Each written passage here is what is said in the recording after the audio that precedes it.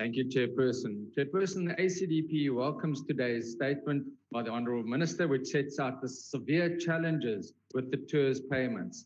And whilst we appreciate that some 50 billion has already been paid out, it must be deeply concerning that the fund set up to assist workers in need has been plagued with incompetency, fraud, and corruption, particularly at a time when so many are dependent on these payments to survive after thousands of businesses closed their doors during the hard lockdown, with almost 2.2 million people, workers, losing their jobs. This is not only concerning, but is also disgraceful. And so we support the steps that the minister has taken with the management being placed under precautionary suspension. However, we do believe that far more can and should be done.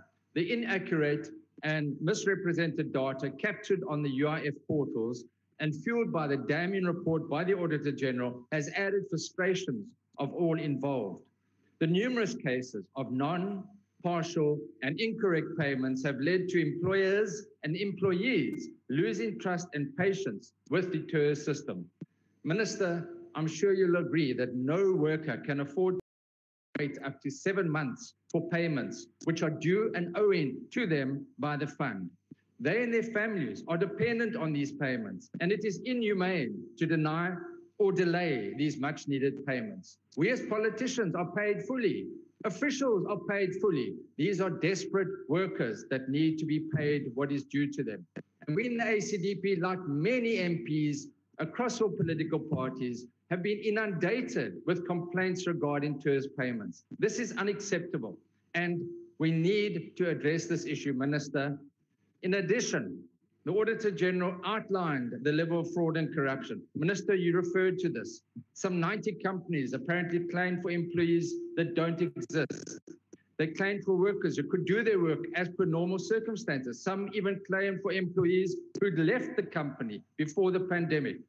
This has resulted in billions of rands going down the drain. And this is scandalous given the financial constraints already facing the nation, as well as the constraints under which the UIF is had to operate. It has together with the other COVID-19 related corruption resulted in unprecedented public outrage. Swift action has understandably been demanded and must be taken. The ACDP looks forward to the speedy payment of all claims to workers, as well as more arrests and the recovery of ill-gotten gains from those who have defrauded the TERS system. We're encouraged by the early freezing of bank accounts that have already taken place. Clearly, however, much more needs to be done in this regard, and the ACDP looks forward to seeing that take place and that all workers will receive what is due to them. I thank you. Thank you, Honourable Member.